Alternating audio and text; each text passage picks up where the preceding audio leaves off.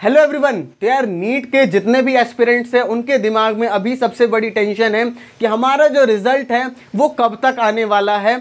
आज जाकर के उसकी एक और हियरिंग होने वाली है। ठीक है तो उस हियरिंग कब तक होगी, क्या होगा, क्या आपका कुछ रिज़ल्ट आज निकलने वाला है, नहीं निकलने वाला है, वो सारे आपके जो डाउट्स हैं, वो सारे इस वीडियो में क्लियर होंगे। लेकिन उस सभी से पहले मैं बताना चाहूँगा, जो भी इस चैनल पे नए आए हो यार, वो जल्दी से जाकर के चैनल को सब्सक्राइब कर लो, क्योंकि इस चैनल पे आपको हर अपडेट्स मिल जाती है, जो भी नीट के रिलेटेड आएगी। जल्दी से जाकर के चैनल को सब्सक्राइब कर लेना। अब आता हूँ मैं मेन बात पे कि हमारा जो कोर्ट में हियरिंग है, वो कब तक हो जाएगा? देखो यार कोर्ट की हियरिंग की टाइमिंग है 12 से 1 बजे की अप्रॉक्स हमारी हियरिंग होने वाली है।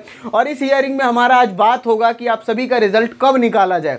ठीक है? हो सकता है कि इसको भी खारिज करके नेक्स्ट डे पे ये लोग कर दें। हो सकता है, जैसे कल हुआ था कि कल भी ऐसे इन्होंने नेक्स्ट डे कर दिया था मे भी चांसेस हैं। लेकिन अगर आज कुछ रिज़ल्ट उधर से आ जाता है तो समझो आप लोगों का जो है नीट का रिज़ल्ट भी निकाल दिया जाएगा। मेन कोर्ट पर ही डिपेंड करने वाला है। ठीक है? और अभी कुछ भी नहीं है।